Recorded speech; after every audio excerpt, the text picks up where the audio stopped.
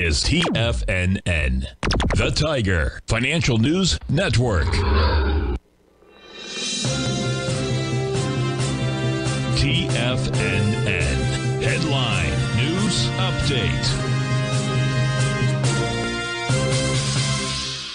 Good morning, everyone. On this Monday, the 4th of March, we're looking at the Dow. This is the 10 o'clock Tiger Financial News Network market update. Dow's uh, down 65 or yep 65.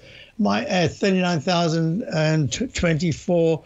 The S&P was a little weaker earlier. It's come back. It's now down five at 51.31, all-time high on Friday in that Chapman Wave Inside Track repellent zone. We're looking at the QQQ.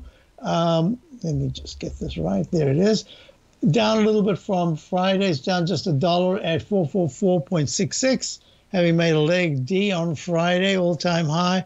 Let's just go to the IWM to see is this coming on strong? Yes, it is. It's up a dollar 28 at 207.16, a new recovery high. It's a, a multi-year high actually. We're looking at the um, semis SMH up. Uh, let's see, it's up 223. Point, it's at Yes, it's up 283 at uh, 223.37, all time high.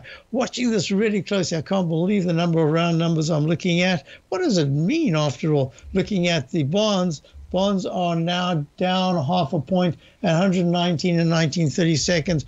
Gold's at a real nice move from Friday. Even today, it's up 11. It's at 2107 that test it's about to test that left side high that we were talking about yesterday that was the high. Let me get it right now before we go to the break.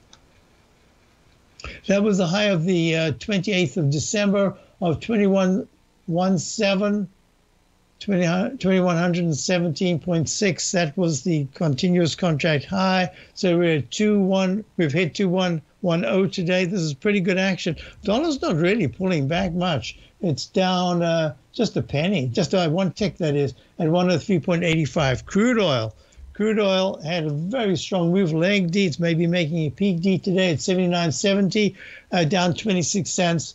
Uh, still doing very well, uh, considering that it's pushing above the 200 period moving average. We're going to be watching this. We want to watch 77.50 as key support this week.